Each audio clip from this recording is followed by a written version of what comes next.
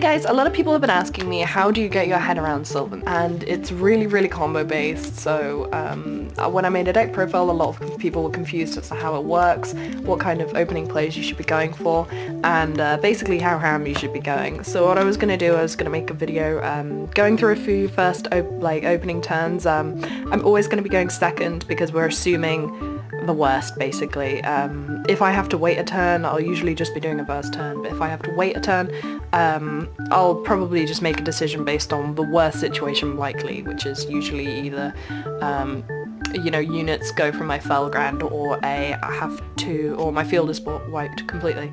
So um, yeah, I just thought I'd go through a couple of um, first turns just and talk over them. So I'm just gonna draw open obviously.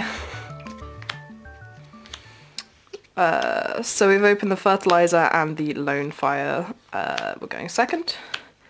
Uh, the Guardioak actually is quite nice, so we'd probably lo we'd uh, go through all of our lone fires first, obviously, um, because we have fertilizers. So I'd go one, two, where are you? Three, and then I'd go into Hermitree um, who is just basically for the draw power. We want to search out the charity because we've got a cherub sprout in our hand. So we probably just want to dig for it to be honest. And um, uh, I'm going to go completely blind. Yeah, I'll usually hit something. So we hit the Peacekeeper, reses the lone fire, we get a draw. Uh, which is really nice. This is, we could chain this sage to the Peacekeeper actually, um, because you're meant to draw first. Uh, so I'm going to summon the, the uh, Sagequoia um, I'm also going to use the Lone Fire. I'm going to deck them before I use the Sagequoia, and I'm going to go for another Hermitree. Um, it'd be quite nice to get a couple of Hermitrees in Grave for um, fertilizers next turn. Um, probably go into a Felgrand this turn. Um, but let's just see. Uh, I'm going to use the Sagequoia first. Good thing I did. And then I'm going to use the Hermitree, which was a glow bulb, which is really nice. And then we're going to get a Komushroomo with our draw. Um, and I'm going to use the glow bulb's effect to excavate the uh, Mystical Space Typhoon. Go for the glow bulb, um, and then I'm going to... I'm probably going to make Stardust at this point, as it's a nice bit of extra protection. Um, I'd make the Stardust and I'd also make the Felgrand. So as you can see, we have a really nice hand. We have two Miracle Fertilizers in it. Um, we've got some normal summons, and if we manage to get the charity, I don't know, oh my god, that was so lucky, what the hell. um, if we manage to get the charity, which will be next turn apparently, um, because that was crazy ass luck, um, yeah, when we get to the charity, we'll probably be able to stall our board, let's be honest here. This Felgrand can protect the Stardust, vice versa. They can protect each other. Um, and when we do eventually draw the charity next turn, let's assume a unit went from our Felgrand, because that typically happens. Um, unless our opponent has, you know, double dark hole, Raigeki, whatever, we will we will have a board something like this. Um, or yeah, you know, you know what I'm saying, you know what I'm saying. Um, and we are going to obviously start with the charity. One, two, three. Oh, the Treacherous Trap Hole. I love that card in this deck. Um, it just destroys two monsters on the field if you don't have any traps in your graveyard. So um, you can destroy your own monster and an opponent's monster, vice versa, whatever. Um, and we're going to place back the... I'd go for the cherub sprout and the possibly the Guardioak because the Guardioak will stack for us. Um, oh no no no okay well it doesn't really matter we're probably about to res a Hermitree so we're going to put those two back on top of the deck and then we're going to activate our fertilizer. We're going to bring back uh, Hermitree. And then we're going to excavate one. We're going to draw. Draw into exactly the same Guardia because we just, yeah. and we're going to get back a, we're going to get out a um, non-tuner as we have Gloat Bulb in the grave. Uh, have we used Gloat Bulb though? Um, yes, we did to make the Stardust. So I think probably, let's take a quick look at our hand. Uh, oh, it doesn't matter because we have the fertilizer in hand anyway. Uh, I'm going to get back the Rose Lover simply because it then makes our hand very live even if we uh, Miracle Fertilizer. So I'm going to shuffle this here deck. Um, and then I will... Right, so we can't normal, but I'm going to... I'm still going to Miracle Fertilizer. And I think I will go for the Bulb. Simply because we'll be going plus one off the um, off the formula we're going to make anyway, and we get to make Shooting Star Dragon. So that's really nice. I mean, we just drew into a charity. The deck's quite thin by now, um, and obviously that means we're going to draw into more spell traps, uh, which are really nice late game. So we're going to get rid of one of the Miracle Fertilizers as we used uh, the Glurt Bulb to make formula. Then we're going to go to the Big Daddy. Where are you, Big Daddy? Show yourself! There you go. Gonna go to the Big Daddy. Have we used Charity this turn? How many are engraved?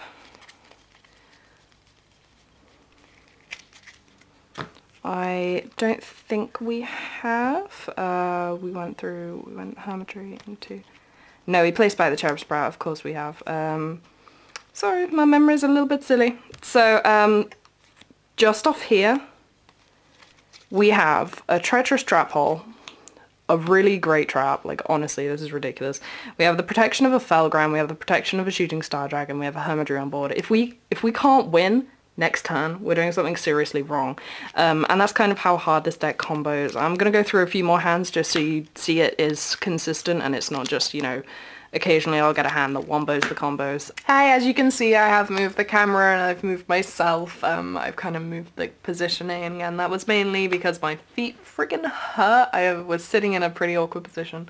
But it was also just because I was worried about things getting off shot so I've kind of, you know, wiggledy woggled it a little bit. Um, I'm going to do probably two more hands just because I don't want this to keep too long as every single turn is very long in this deck. Um, so I'm, I'm just going to get on with it really. I got to stop blabbing. Um, we've opened up Mount Sylvania and Lone Fire, which is already really nice. A Glurt Bulb as well, Peacekeeper, and an MST. Right, so what we want to do is we want to immediately go through the Lonefire um, and go into Hermitree as we have the ability to stack something on top of our deck. I'm going to separate some of these cards. The Miracle Fertilizers still seem to be together. Um, and we're going to go for Hermitree. Here's our Big Daddy. Oh wait, Shooting Star Dragon's the Big Daddy. Don't be silly, Floss. That's right, my name is Floss. How weird is that? Flossie. Anyway. no, boop. I don't know why I did that. I'm about to shuffle by sending with Sylvania anyway. We're gonna do the Sylvania thing. Uh, probably send the Glurt Bulb as we can then use it. And I'd say stack the um, Peacekeeper on top of the deck. Uh, we have the option of Peacekeeper or Princess Sprout. If you can use Prin uh, Peacekeeper, always do it instead of Princess Sprouting for an 8 because then you can get out the Hermitree. Um, oopsie! Then you can always get out the extra Hermitree and get the extra excavations and you can also have more engrave for if you draw soul charge or something like that. Um, more useful things. um, so yeah, we're going to top deck the Peacekeeper and we're going to excavate it and then we're going to draw. And we draw into a Hermitree. Um, well, the the Peacekeeper is going to activate and get us back our lone fire. And then we're just going to tribute it off and go for another Hermitree immediately, pretty much. Here we go. So we've already got a Felgrand on board, and this was a pretty mediocre opening hand, I'd say. Um, but it's it's a really nice thing we've already got. We're going to go for a Hermitree. I unfortunately excavated a spell, which is one of the first today, to be honest. Um, and then we already have our Felgrand. There you go. Um, first time you want to always really go for the Felgrand. Um, and then we'd set MST. As you can see, I don't really run many traps in this deck. In fact, I only run one um, because I don't want to clog it too much. Um, because the ratios are really important to me in this deck. Um, I, I, think we're going to go into second turn. We're going to assume we lost a unit from Felgrand and we lost all other cards on field. So I'm going to put these straight into that graveyard. Alright. What do we draw? Let's go, girl.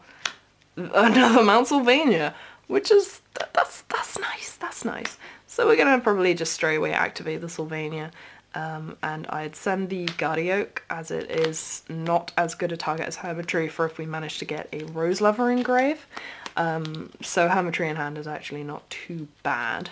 Um, and we're much more likely at this time to get Rose Lover engrave than to get a Miracle Fertilizer in our hand. So yeah, there we go. Uh, what we we were going to stack, uh, we will be normal summoning this Peacekeeper. And the reason that is okay is because we've got Glowbulb engrave. So we'll be able to go to formula with it and it won't matter that it's an attack position um, 400 for only a little while. So what I'd actually do is stack the other Peacekeeper again as we can res our Lone Fire again. Um, it kind of sucks that we then won't be able to go for a Hermitree, but we'll still be able to go for, say, a Sagequoia, which is really nice. So I'm going to stack this on top of the deck normal summon the Peacekeeper, excavate one, uh, get out the Lone Fire. Oh, this is really high up, I'm sorry. Uh, and then I'm going to tribute the Lone Fire for next best thing to uh, if we didn't have the Guardian engrave, at this point I would most definitely go for it because it excavates quite a lot and the attack difference between it and Sagequoia isn't very high whatsoever. But I'm still, I'm just going to go for, um, go for this at this time. Um, and also making a 7 is quite nice. So we're, we're to go for, we're to go for Sagequoia. And then we're to go blind, we're just to excavate one. It was the soul charge, so we're to put that, put that right back there. But then we do get to uh, Glowbulb. Send one to the grave. And then I'd sink for formula with the Peacekeeper we've got in attack position. You should never really be scared of normal summoning Peacekeeper in attack position if you've got things like Glowbulb or Spore Engrave. I think it's just an ultimate rule that um, you shouldn't really be worried. Um, I know a lot of people uh, kind of see me do it and they're like, what are you doing? And it's like, I know I can get rid of it. I even if it's like, uh, I, I managed to make a rare and just pop it with its own effect or bounce back to hand. It's, yeah, there are plenty of ways to get rid of it. We're going to draw a formula. Oh, we drew the Miracle Fertilizer. I can't, we normal summon the Peacekeeper, so we can't use it this turn. But honestly, that's left us in a really, really nice position for next turn. Um, and if we really did want to get rid of the Sagequoia, we can always sync it with the formula. Um, I run one of pretty much every level in this deck. So I run the big beat stick that is Gigante Castle. So we've got a 28 and we've got a 20, uh, well this would be 31 on board. So this alone, this field, this is really nice. And if we did potentially lose everything, we've still got a Miracle Fertilizer. Um, we've we can just still continue to make these plays um, and the chances of our Felgrand dying are very slim so we'll probably still have that 2800 um, which is really nice and obviously we can use this to sync through for things like um, Leo or Star Eater if you needed them. So um, obviously having every single 11 in this deck is really important. so yeah, um, that was that hand. I thought it was a little bit shaky at first, but you know, you always kind of make do with what you get um, with this deck, and that's why you have to have such a varied extra deck. Honestly, I think this deck would be pretty insane if they raised the extra deck, um, which I think they should really do. Like, the game's gotten to a point where they're releasing so many monsters for the extra deck. Like, there's so many XYZs, there's so many Synchros, um, that it's kind of inefficient for certain decks to not be able to have a larger extra deck. Um, and granted that a lot of decks might be quite ridiculous from this, um, rank 4s would have a very varied engine, not that they don't already. Um, I think Shadows would be crazy if they can run more of their fusions. Um, Ritual Beasts would have such a great time running Synchro Engines, just just plugging my own deck there. Um, and yeah, honestly, I think it would be just a step up for the game, um, which is really nice. I'm gonna cut my deck. I don't know. I I personally am one for the whole um, raising the extra deck thing. So again, we've opened up the, um, oh, we've opened up a nice target to summon Sylvania. Ooh, this is a nice opening hand. So what you always want to do if you've got uh, these Sylvan spells in your hand, you're immediately going to go for your Lone Fire um, to start your plays. People who dig with Charity first, I'm just like, what are you doing? Um, hmm, no, we don't, we're going to go for the gonna go for the Hermitree. I was considering Guardioak, but we basically a lot of the time I play this deck quite riskily. And um, I don't want to do this the, I don't want to do that for this video. I don't want to just have crazy fun. Um, I'm showing you the most efficient plays at any given point. Um, okay so what I'm going to do I'm going to Mount Sylvania gonna move you over there Hermitree have fun next to your next to your mountain. Uh, and I'm gonna send the Dandelion I'm gonna get two tokens and I'm going to place on top of my deck Peacekeeper I think is the most effective thing to do at the moment um, simply because we just have the Lone Fire engrave and we don't have uh, too many Hermitrees engrave or anything. I really love um, Peacekeeper in this deck. The fact that people only run one Peacekeeper actually astounds me in a lot of ways. Uh, we're going to use the Hermitree, Excavate to draw. We drew a Cherub Sprout, but that's okay. We can thin it out with our Cherub Sprout in hand anyway. Um, uh, do I want to get rid of the Lone Fire?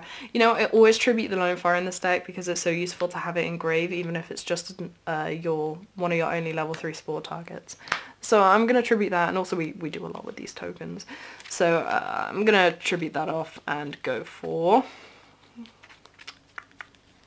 Where are you?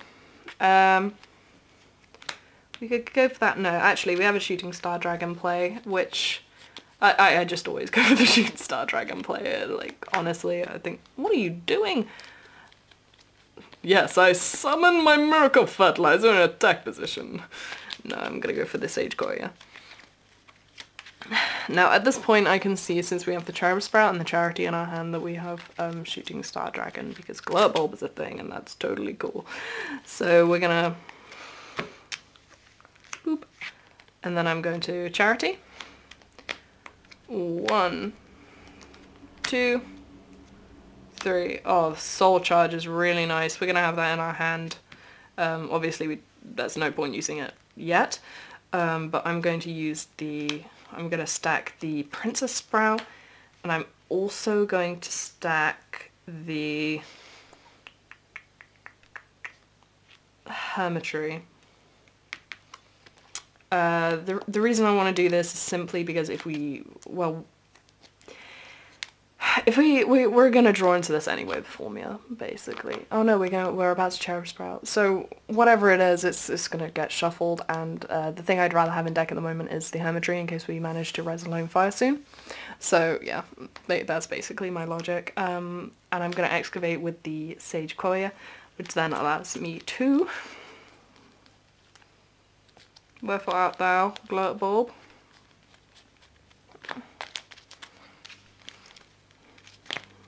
Honestly, since Glow Bulb came off, off the list, this deck was just like, Shooting Star Dragon? Shoot, you, you want more Shooting Star Dragon?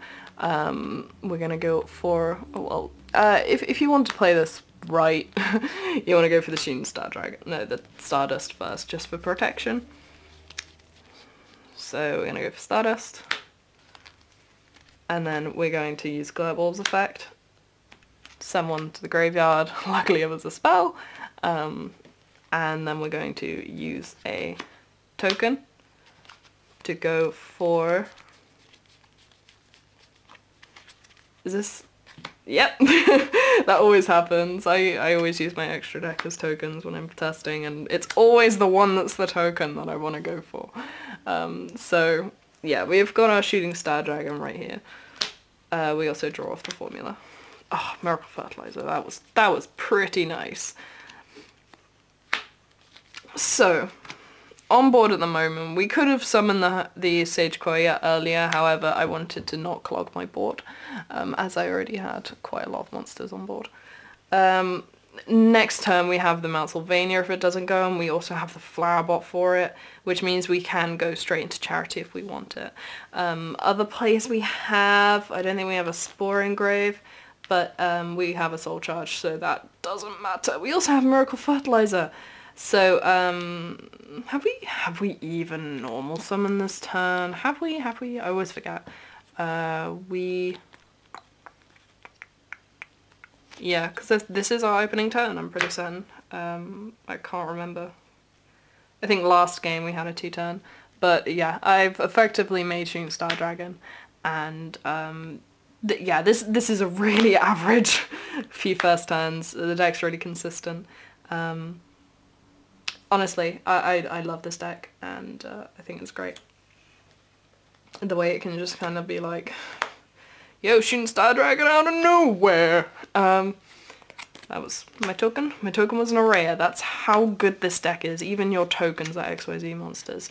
So, yeah. Um, if you've watched all the way to this video, congratulations. I have been blabbling to myself for a very long time now. But um, I hope this has kind of taught some people how to play Sylvan's kind of my list a bit better, a monster version, um, and a very synchro heavy build.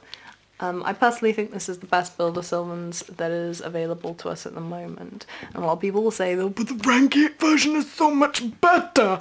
It's like, sure, in your opinion, Felgrand Turbo, that's fine. But this deck can make uh, Felgrand as much as it wants, but it can also make so many other plays. It can make Shooting Star Dragon, for goodness sake! What's also nice is it makes Felgrand and Shooting Star Dragon a lot. And those two together can be actually quite a nice soft lock of just your opponent can't get over your board. They can't attack over, which is the general way that um, Felgrand gets... Um, Felgrand dies. And um, they also can't uh, bounce back the Shooting Star Dragon or banish it which is what usually happens to it. So th th that's just my opinion. I think it's really nice. Um, so yeah. Uh, thank you for watching this video and I will see you later. Good luck have fun